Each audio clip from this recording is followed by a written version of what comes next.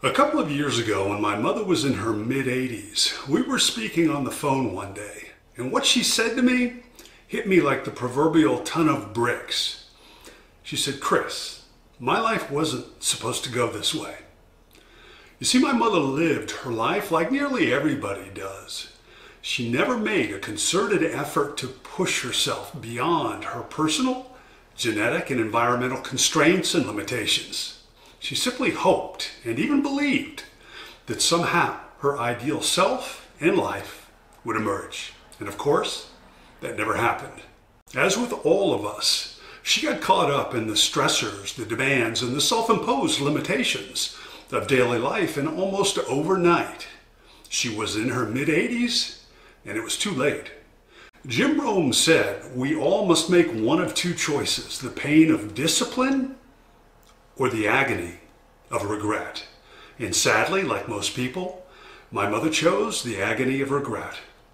So, my question to you what choice are you making? Because your story is probably far from over. You still have time, but that time is moving much faster than you even imagine. And regardless of how you choose to use your time, it will pass. So, will you choose the pain of discipline? Or the agony of regret. Whatever your current level of career and financial success, and whatever your level of personal joy, fulfillment, and actualization, you know that you're capable of much more. And because people who are highly successful, actualized, and fulfilled think, feel, act, and live differently than everyone else, you know you have to continue to learn, grow, develop, and improve your single instrument and your single source of both success and fulfillment.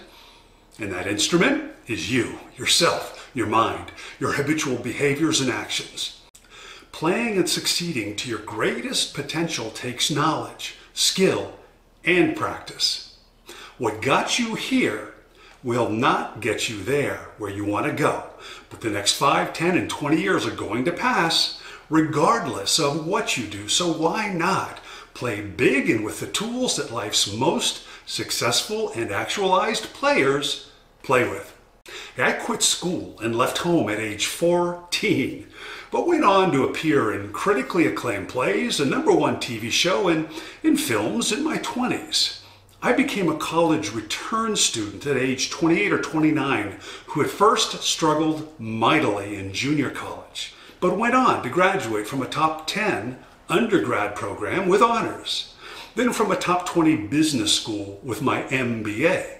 I then became a Fortune 20 vice president, developing and managing financial alliances in the 5 million to $500 million range with chief financial officers from the Fortune 1000. Next, I became an entrepreneur selling my first small company. And for the past 10 years, I've trained driven people like you in leadership and in peak performance at UCLA and in the corporate markets. And if I can achieve this, you can achieve incredible things. And the tools and techniques I've used to rise above my limiting background, then to overcome major setbacks I'll share these with you. So to get your free training right now, click on the link below, then enter your first name and email address and click send and I will see you on the other side. Your greatest future is calling you.